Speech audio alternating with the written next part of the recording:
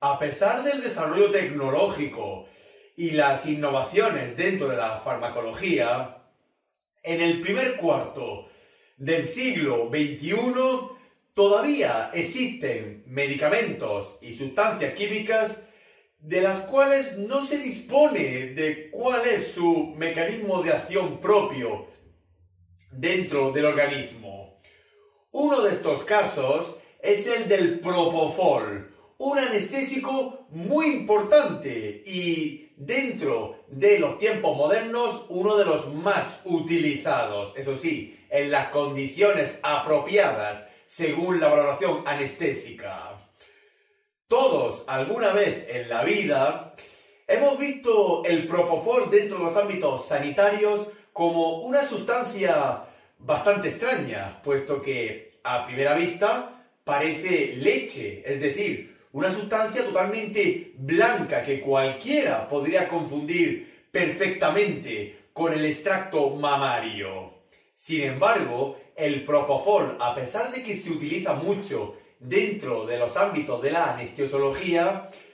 se ha llevado por delante de forma accidental la vida de algunas figuras públicas, como por ejemplo la presentadora estadounidense Joan Rivers y, lo siento mucho, queridos oyentes,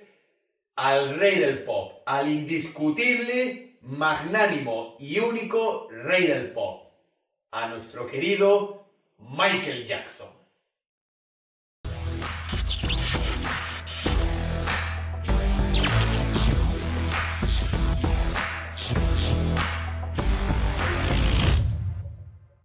El propofol es un fármaco que pertenece a la familia de los anestésicos, junto con otros semejantes como por ejemplo el etomidato, la ketamina o el tiopental sódico, sin olvidar el midazolam.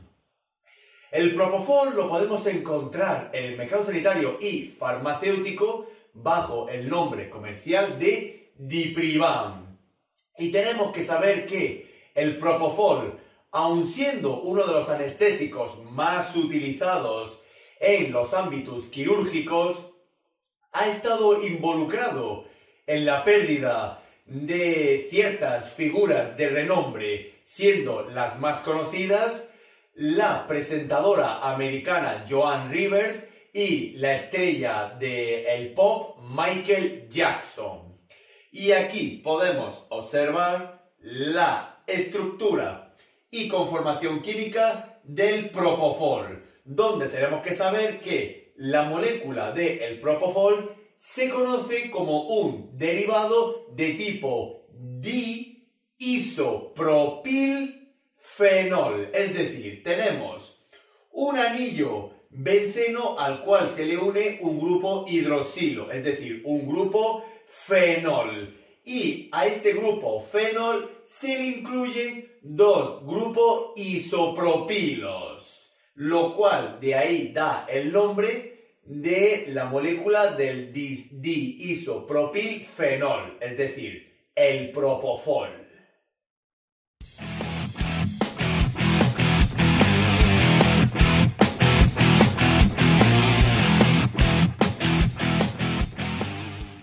Como anestésico que es, el propofol se utiliza especialmente en los ámbitos de anestesiología y área quirúrgica. En este caso, para el establecimiento de una sedación o inducción de la anestesia junto con otros semejantes, así como también en las propias cirugías, en los ámbitos críticos y en la instauración de una vía aérea artificial es decir, una ventilación mecánica. Y también podemos utilizar el propofol para establecer una sedación a un paciente para una exploración diagnóstica o de eh, invasión mínima, como por ejemplo en las endoscopias.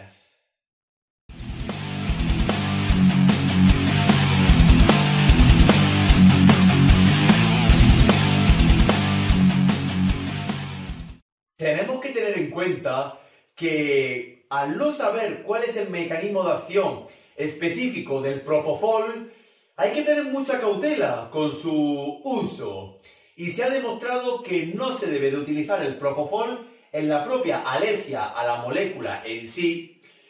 a los excipientes de declaración obligatoria que están incluidos en la fórmula farmacéutica del propofol y que el paciente puede ser alérgico a alguna de estas sustancias,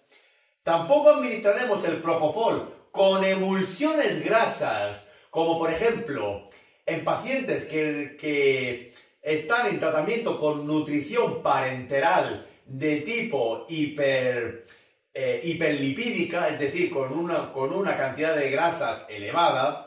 y tampoco deberemos de utilizar el Propofol en la pediatría, especialmente en menores de 16 y 18 años, ya que no se ha establecido una seguridad terapéutica con el Propofol en estas poblaciones.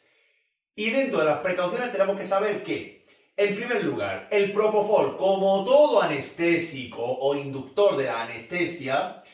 debe de monitorizarse al paciente con todas sus constantes vitales y teniendo especial visión dentro de la saturación de oxígeno, es decir, de la, de la repartición del el oxígeno tisular. Debemos de saber que el propofol puede interactuar con ciertos fármacos antiepilépticos y especialmente si el paciente tiene algún grado de epilepsia o convulsiones neurológicas. De nuevo repetir el caso de que el propofol dentro de la pediatría se utilizará con mucha cautela, pero más especialmente por la falta de evidencia terapéutica en las poblaciones jóvenes. Y, como todo anestésico, el propofol debe de administrarse según una dosis individualizada, la cual se esclarece dentro de los parámetros que se requieren en el paciente y que podemos obtener en la valoración preanestésica, como por ejemplo la antropometría, el tipo de cirugía que vamos a realizar al paciente, la duración que va a tener la intervención quirúrgica y muchos factores más.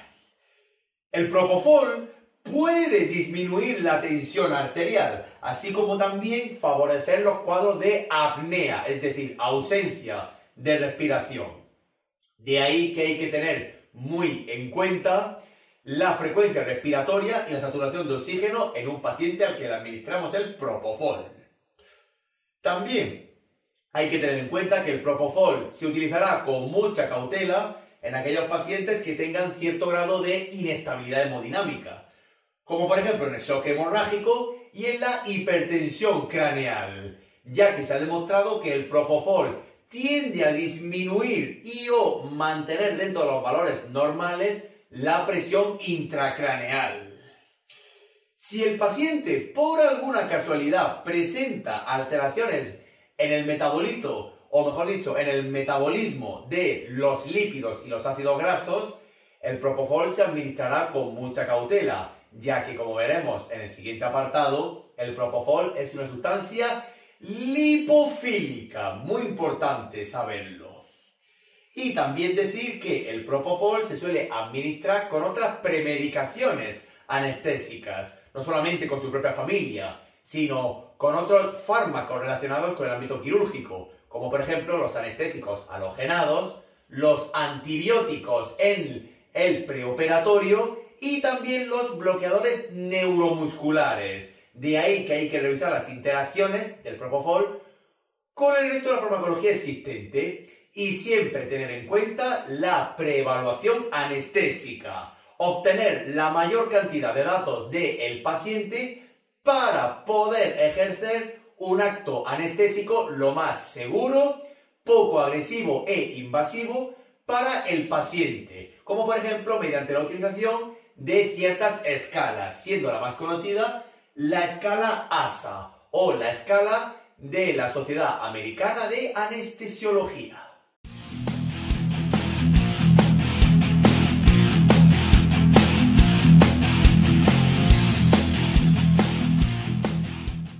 El mecanismo de acción del propofol desde su descubrimiento hasta la puesta en práctica dentro de la, clínica. Y a los tiempos actuales todavía se desconoce cuál es su mecanismo dentro del sistema nervioso central, aunque ciertas teorías establecen que el propofol tiene cierta actividad de forma inhibitoria mediante los receptores de tipo GABA o GABAminérgicos, pero no se ha establecido una relación terapéutica y bioquímica como tal. Lo que sí sabemos es que el propofol, dentro de su eficacia terapéutica en los órganos diana, tenemos que decir que disminuye la frecuencia cardíaca, disminuye la tensión arterial y disminuye la frecuencia respiratoria, incluso llegando a cuadros de apnea. Y también a nivel neurológico, el propofol disminuye o tiende a mantener la presión intracraneal dentro de los valores normales.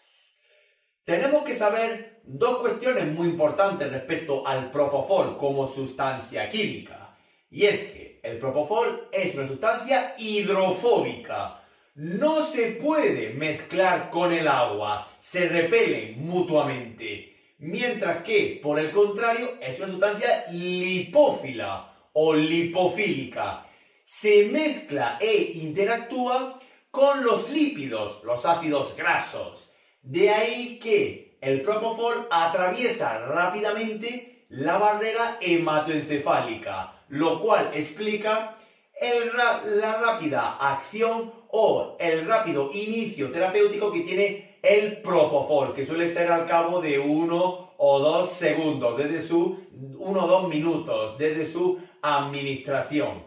Pero es muy importante recordar que el mecanismo de acción del propofol todavía no se ha establecido como tal, no se ha descubierto. Solamente algunos indicios parecen señalar a una relación con los sistemas GABA neurológicos.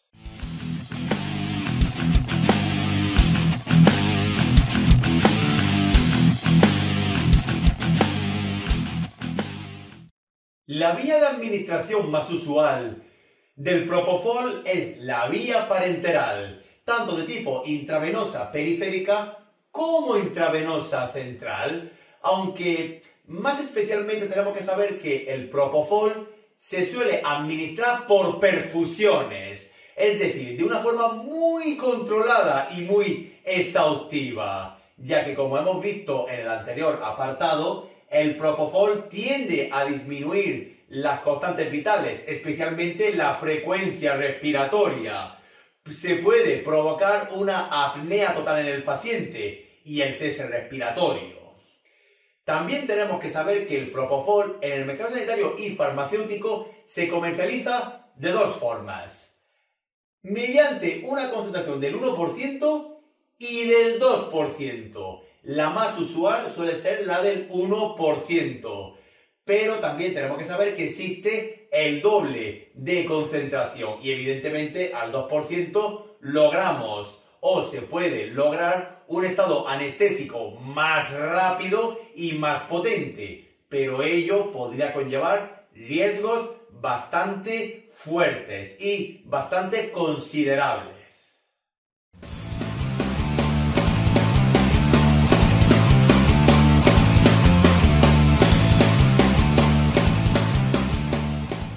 La posología del propofol suele estar bastante estandarizada, pero como todo anestésico, independientemente de qué familia sea,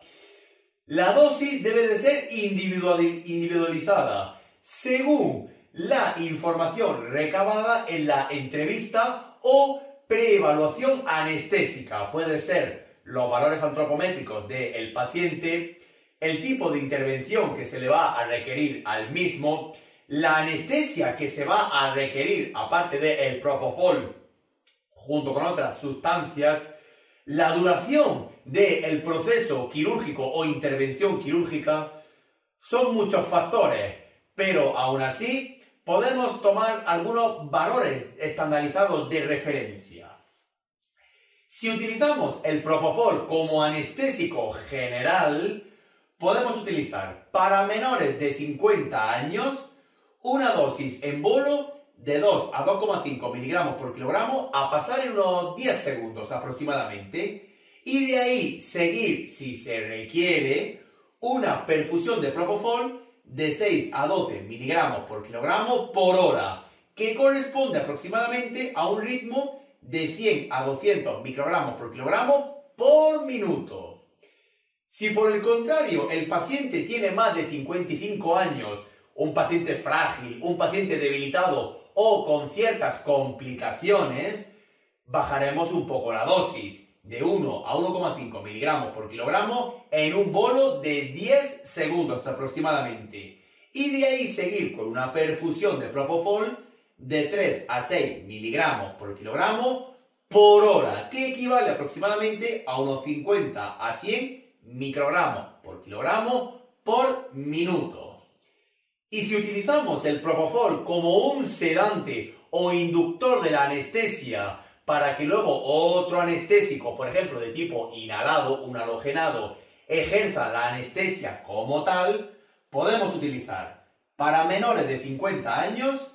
una dosis en bolo de 0,5 miligramos por kilogramo a pasar en unos 3-5 minutos aproximadamente y de ahí seguir con una perfusión de 6 a 9 miligramos por kilogramo por hora, que se corresponde aproximadamente entre 75 a 125 microgramos por kilogramo por minuto. Y para mayores de 55 años, pacientes debilitados o pacientes frágiles y o geriátricos, reduciremos un poco la dosis de Propofol al 75% o incluso al 50% pero siempre bajo el criterio anestesiológico.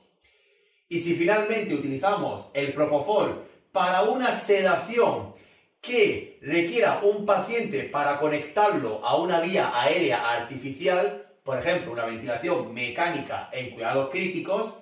podemos utilizar una perfusión de 0,3 a 3 miligramos por kilogramo por hora y de ahí mantenerla mientras el paciente se vaya adaptando a la ventilación mecánica. Pero es muy importante recordar que aunque estas dosis son estandarizadas, todo anestésico general debe de utilizarse a dosis individualizadas según los datos que se recaben de la preevaluación anestésica.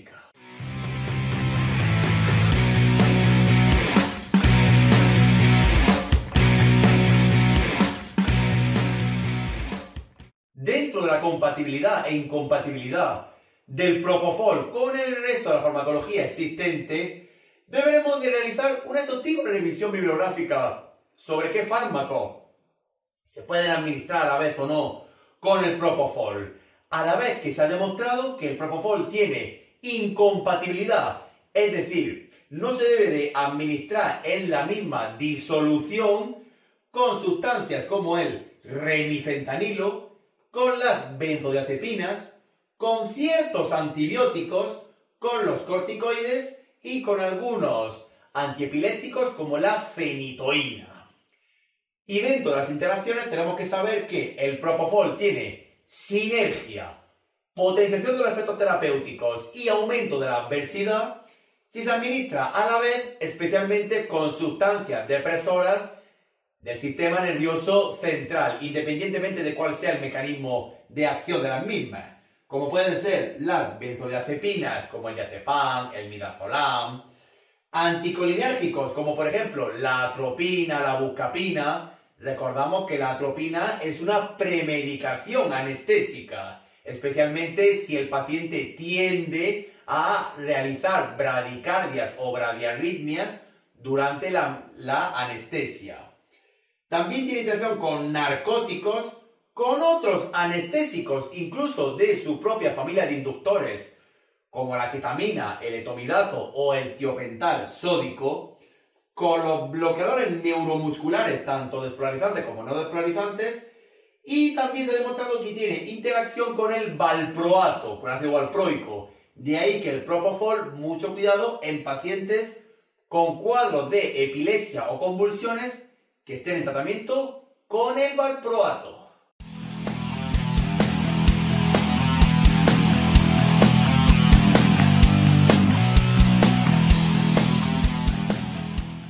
El no conocer aún el mecanismo de acción exacto del propofol y solamente tener teoría de una posible relación entre el sistema nervioso central y el efecto terapéutico anestésico del mismo puede provocar efectos adversos, incluso hasta letales, como pasó en casos de figuras mediáticas, mencionando el caso de la presentadora Joan Rivers o de la estrella del pop Michael Jackson. Debemos de saber que el propofol, la mayoría de los efectos adversos se derivan del desconocimiento, de no saber cuál es su efecto exacto dentro del organismo. Y algunos de los efectos adversos más documentados del propofol son la aparición de rhabdomiólisis, alteraciones del pH, como por ejemplo acidosis metabólicas y cuadro de hipercalemias,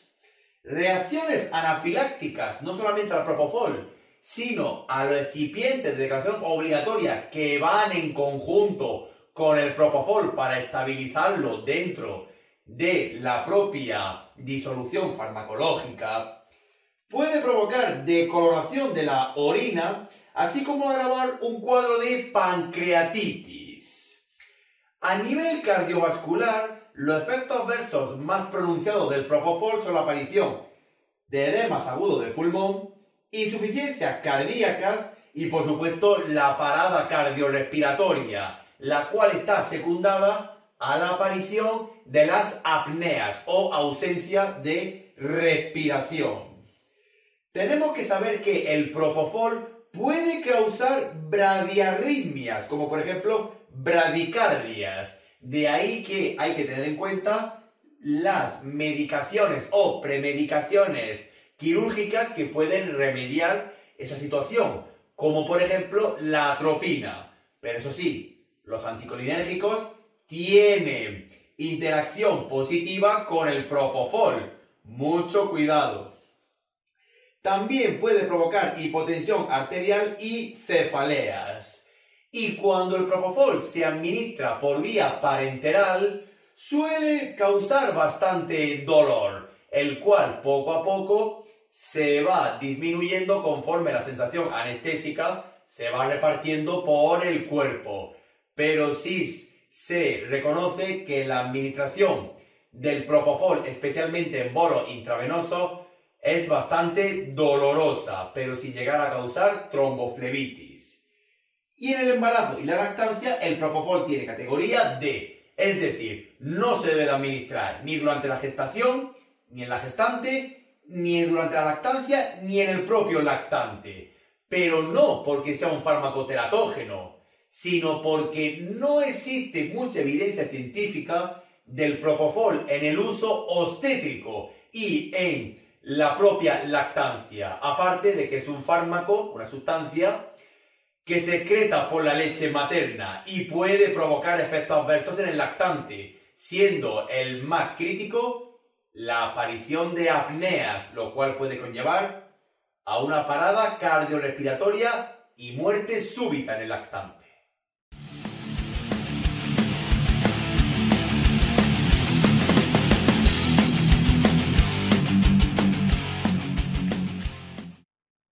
Último, tenemos que decir varias cuestiones respecto al propofol.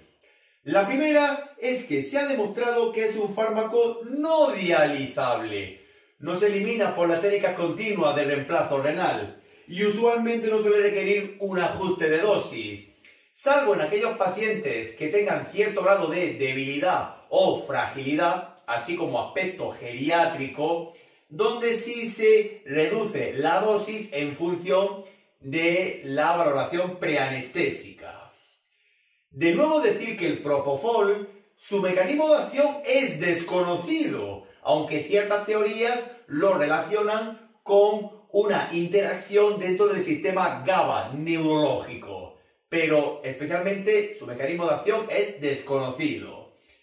Tenemos que saber también que el propofol es un fármaco hidrofóbico, no se puede mezclar con el agua, se repelen mutuamente. Y al contrario, es lipófilo, se puede mezclar con sustancias grasas, con lípidos. De ahí que atraviesa rápidamente la barrera hematoencefálica y tiene un efecto terapéutico con un inicio muy rápido.